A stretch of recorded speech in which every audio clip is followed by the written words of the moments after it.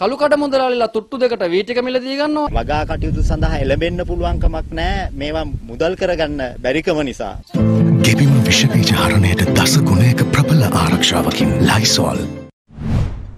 අමාත්‍යවරයා පවසන ආකාරයට වීමිලදී ගැනීමේ ක්‍රියාවලිය පවතින්නේ ගැටලුකාරී තත්වයක.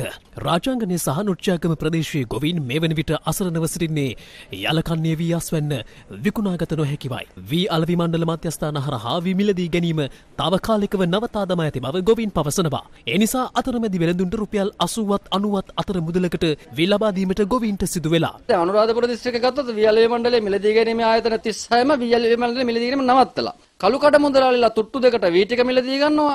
ආසන්නව මාසයක් විතර වගේ කාල සීමාවකදී ඊළඟ මාස් කන්න අපි පටන් ගන්නවා. නමුත් මේ මාස් කන්නට වුණත් අපිට වගා කටයුතු සඳහා එළඹෙන්න පුළුවන්කමක් නැහැ. මේවා මුදල් කරගන්න බැරිකම නිසා. මැදිරිගිරිය දියසින්පුර ගොවින් මුහුණ පා ඇති තත්වයත් ඊට දෙවෙනි නැහැ. අස්වනු නෙලීම දැන් ආරම්භ වී ඇතත් ගොවින් අසරණව සිටින්නේ අස්වැන්න විකුණාගත නොහැකිවයි. මේ කූට ව්‍යාපාරිකයෝ එකතු වෙලා අද වීමිල තීරණය කරලා රුපියල් 98ට 100ට වගේ තමයි වී කිලෝ එකක් ගන්න හදන්නේ. හැබැයි වී කිලෝ එක නිෂ්පාදන වියදම මේ වෙනකොට යනවා 135ක් පමණ. ඒ නිසා මේක ඇවිල්ලා මේ අහිංසක ගොයියන්ගේ සූරාකෑමක් තමයි මේ රටේ වෙන්නේ. Start your online O level and A level today. 2022 intake is now on. Royal Institute Smart Academy. Call us on 077 988 9848.